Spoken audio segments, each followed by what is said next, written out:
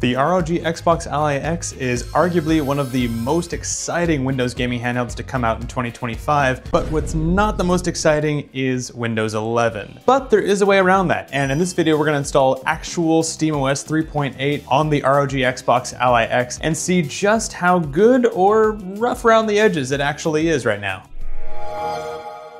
So before we get started, the first thing we're gonna wanna do is ensure that the SSD installed in your ROG Xbox Ally X is an SSD that you don't mind completely wiping. So if you care about keeping your Windows stuff or whatever else you have going on, you're gonna wanna swap in a different SSD because the SteamOS installer will completely wipe the first NVMe SSD it finds installed. The spare SSD I had lying around was this M.2 2230 size, which apparently the Xbox Ally doesn't have a screw hole for, so I just used this little 3D mounted bracket to make it a 2280 size, and we were good to go. Now that that's in place, let's go ahead and download SteamOS, shall we? So if you watched my previous video about installing real SteamOS on the original ROG Ally, you may be thinking we can just go to the SteamOS recovery image download page, flash that image, and we're good to go, right? Well, no, that is actually SteamOS 3.7.7, which currently, as we can see on this page here, only supports the original ROG Ally and ROG Ally X in beta support, as well as a few other handhelds, but there's no mention of the Xbox ROG Allies, and that is, I believe, because the new Z2 Extreme APU is not supported in that build. And so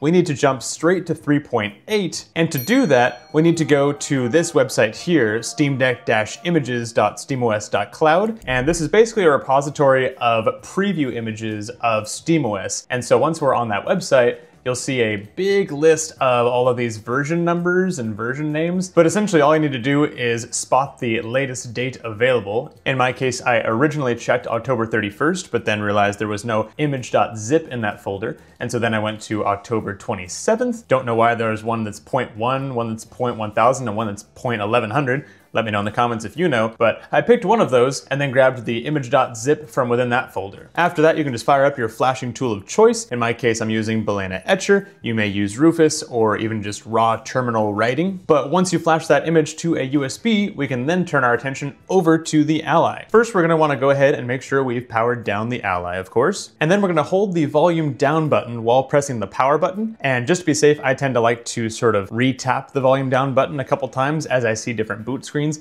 just to make sure that the BIOS registers that BIOS boot key. And if you did it properly, you should now see the Asus Ally BIOS screen. And the first thing we'll have to do is disable Secure Boot because the SteamOS image does not support installing the security key like Bazzite does, which allows it to run even with Secure Boot enabled. And so we'll just head over to the Security tab and down to this option to disable Secure Boot. Once that's done, go ahead and hit Save and Restart and then power down the Ally again. And then we're gonna plug in the USB we just created. Technically, you could maybe do this all in one step, but I like to make sure that Secure Boot has been disabled and then freshly boot into the BIOS with the USB attached. And from there, we'll go ahead and press the boot menu key and choose partition one of our SteamOS boot drive. From there, you should now see some Linux C text scrolling down the screen, which is a great sign. And you're gonna go ahead and leave it for a couple of minutes while it boots into the KDE desktop environment. In my case, out of the box, there was some really aggressive sleep settings, so I found I had to keep tapping the power button to wake the screen back up to see where it was in the process. But eventually I was presented with the KDE and then all you have to do is tap the fourth icon on the desktop, which is wipe device and install SteamOS. It'll give you a prompt saying that this action is irreversible, but since we've got a dedicated SSD in there that we don't mind wiping completely, we're gonna go ahead and tap proceed. This process will take a few minutes, and like I mentioned, your screen might go black, but you can just do a quick tap of the power button to wake it up and see where it is, and eventually you should see a pop-up that says action successful, and you can hit proceed to reboot. And beautifully, after that first reboot, you should now be seeing the Steam Deck Getting Started wizard where you select your language and your Wi-Fi, after which it'll install a few more supplementary files and give you one more reboot. But after that, you'll be booted into the standard Steam login screen with the QR code scanner. And from there, you can just start installing games to your heart's content. One important warning is you'll probably see the little exclamation point with the gear icon on the top telling you, hey, there's an update available. You actually don't want to update, as it's probably to update you to 3.77 or 3.78, as it's not expecting you to have already jumped up to 3.8. But from my research, there's not really anything you can do to hide or disable those warnings. So at this point, just ignore those notices and you should be good to go. Another thing to note, so far in my testing of SteamOS 3.8 on the ROG Xbox Ally X. Everything seems to be working fine, except I don't appear to be able to open the right slide out menu. I can use both the ROG button and the Xbox button to open the left slide out menu, but I can't seem to open the right slide up menu where you can access TDP and Decky plugins if you install them, and performance overlay and battery info and all that kind of stuff, which is rather annoying. I'll pin a comment or something if I come up with a solution to that in the time between filming this video and it coming out. But if you found a solution, please let me know in the comments. And speaking of Decky plugins, let's go ahead and go through how to install those Decky plugins, which maybe will give us a fix to this button not doing anything, as well as probably some RGB control and some proper TDP control. First, we'll head down to power, and then switch to desktop. And once we're loaded into the KDE Linux environment here, we're gonna go ahead and open Firefox, or rather we'll install Firefox from FlatHub here via the Discover App Store app here. Then we'll go ahead and pop into the URL bar and type in decky.xyz. And then you may be lucky and holding down Xbox key plus X opens the keyboard for you.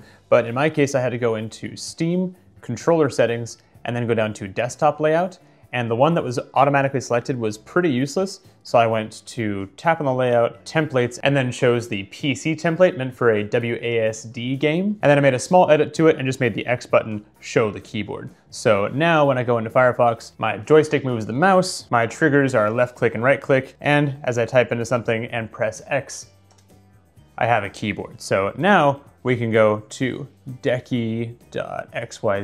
And from there we can scroll on down to get started and hit download. Open that folder, double click this guy, and we'll say launch, continue. You appear to have not set an admin password. I'm okay with them temporarily setting one. Yes. I'll take release. Install finished, installer cannot be closed, okay. And now to make it easier on ourselves to install the Decky plugins, let's actually set a password we're gonna know what it is that'll stick around. So I went ahead and opened console and then typed P-A-S-S-W-D. I'll go ahead and punch in a new password. I'm gonna call this capital D Decky with an exclamation point. And there we go, password set successfully. And the reason we wanna set a password is for very advanced plugins like this guy, Simple Decky TDP, which is gonna be very useful for actually setting the TDP this guy is using. And so if we scroll on down to the getting started, quick install slash updates, this little command, we'll just go ahead and copy that guy, open up console, and we'll go ahead and right click and paste. Bring up our keyboard, hit enter. Once our password, which we now have, enter, and he's good, fantastic. Another one I'm gonna grab is controller tools, which I'm told might be able to let me map this button properly. I did realize that the Xbox button plus A will also open the side menu, so that's kind of resolved. But I'd like for the quick menu button to open it too, because that's what it's supposed to do, and it kind of does nothing right now. So we'll go ahead and go down to this guy's installation steps. Oh, and beautiful, he's available in the Decky store, so we'll grab that in a second. And lastly, while we're still in desktop mode, if you wanna grab a plugin like Decky HueSync to have a little more control over your RGB, just go ahead and grab its one-liner at the bottom here, pop into your terminal, right click, paste this guy, hit enter. It already has our password in this console and we're done. Fantastic. So now we can go ahead and close out of this, close out of this, and return to gaming mode. All right, back in gaming mode, I'm gonna go ahead and use Xbox plus A, which opens our side menu, beautiful. And we now have the Decky menu. So you can see we have simple Decky TDP. And in here, now we can enable per game profiles or just across the board, bump things up to 15 or down to 12. And if you wanna go higher than 15, which this Ally can obviously do, we'll just take that max TDP and bump it up to like 35 like it does in Windows.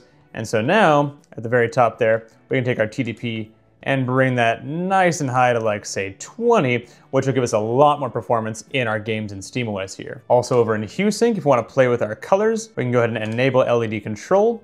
Let's give us a little rainbow effect here. And I don't know about you, but I see no change. So maybe you can't quite control the RGB yet, even with HueSync. So that's maybe just TBD for when 3.8 becomes mainstream. Now let's go and hop into the Decky Marketplace, which is a super handy way to grab all kinds of little plugins and handy tools like Tailscale Control if you do private VPN stuff, or Syncthing to sync custom saves, timers. And what I wanna try is controller tools. Oh, we could have installed HueSync from right here. Handy. Controller tools. The missing game controller menu. I would love to try that out, please. Controller tools. Guessing that's the built-in controller. Well, that's significantly less helpful than I was hoping it would be. I thought it would let me remap some buttons. So again, if you have a solution to getting this button to open this menu, please let me know in the comments. But thankfully, Xbox key plus A will get that open. So that's the most important thing is just being able to access this menu, especially to get to our Decky plugins, especially to get to TDP controls because it's kind of useless to game on a beautiful handheld like this